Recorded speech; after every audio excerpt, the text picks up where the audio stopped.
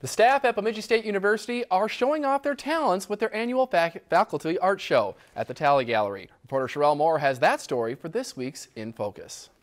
This is a fabulous show, frankly. Um, we see each other professionally in our roles as uh, professors at the university, uh, as we engage with our students. But to see the ability and the creative talents of my colleagues, it's, it's phenomenal. Three years, the faculty of Bemidji State University take over the Talley Gallery and display their personal artwork. I think a lot of our students want to see our work, and we don't always have time to do work first off and then um, get to share it. And so this is a great opportunity for our students to be like, oh, you totally made that. And um, it's just kind of fun. This year, 14 artists are a part of the exhibit, and they all come from the School of Technology, Art, and Design. One thing that's really important about the show like this, if I could just say, is um, leading by example.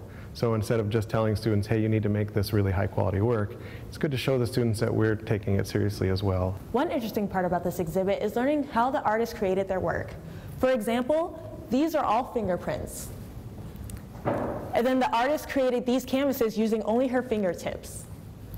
And then these pictures were created with an iPhone. We have an extremely diverse faculty set, and um, it's really fun when we can all kind of take space and time to devote to creating something where we're working on it together. The faculty members get a chance to show their second passion, next to teaching, and everyone involved learns something new. I think it's the satisfaction you get from taking an idea from uh, its genesis to fruition.